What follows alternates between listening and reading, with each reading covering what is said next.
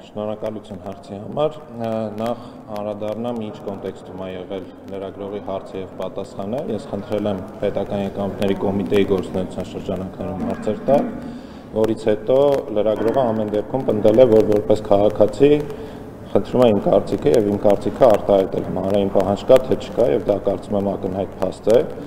սա առաջինը երկրորդը ես կարծում եմ որ այն մարդիկ ովքեր թիրախավորում են մարդկանց ինչ որ խմբին պատկանելու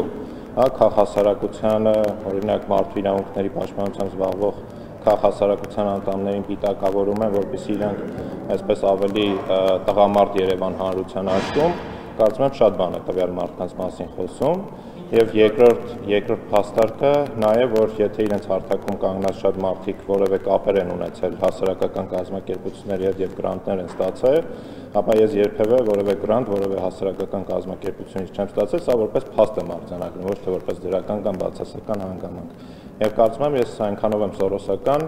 այնքան մոտ եմ սորոսականությանը, որքան օրինակ Իշխան Սաղաթելյանը մոտ է առողջ բանականությանը Սա երկրորդը եւ երրորդը կուզեի, որ Իշխան Սաղաթելյանը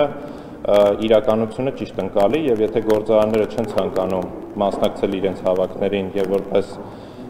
փաստ նշում են, որ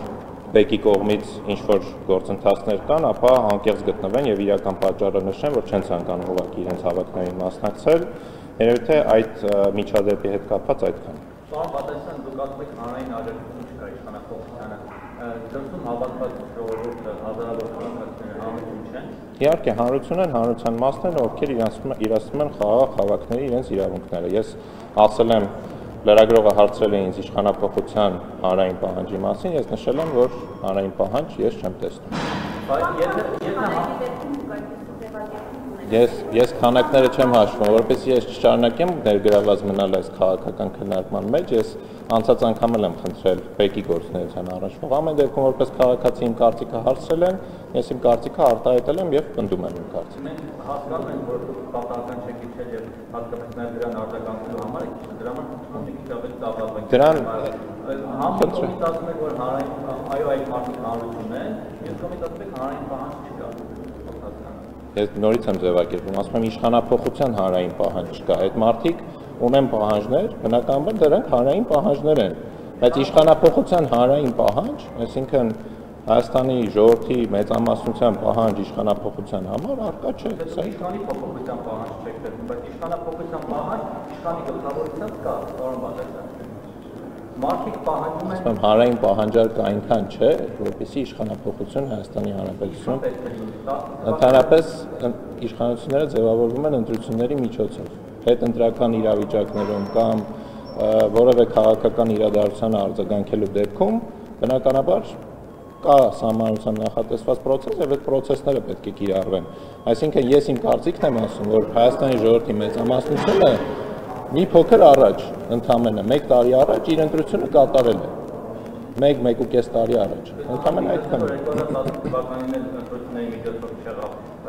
Մարդիկ փողոց դուրս եկան։ Եվ հետո նշեցին, որ հրաժարական կա։ Եվ հետո տեղի ունեցավ ընտրություն, որի արդյունքում ձևավորվեց իշխանություն։ Դրա համար եթե դրա համար եմ ասում, եթե 18 թվականի իրադարձությունները համեմատում եք այսօրվա իրադարձությունների հետ, ապա որևէ աղերս չկա թե հանրության ներգրավվածության առումով, թե հանրային պահանջի ձևակերպման, թե այն մտնոլորտը, որով ընթանում էր 18 թվականի այդ հավաքները եւ հիմա ընդհանրապես այդքան է։ Գաղափարական առումով այն ժամանակ մերժում էին Սերժին, հիմա պայքարում են անուն Արցախի, անուն Հայաստանի Հանրապետության պետականության եւ հայրենիքի փրկության համար են պայքարում։ Դուք այստեղ գաղափարական առումով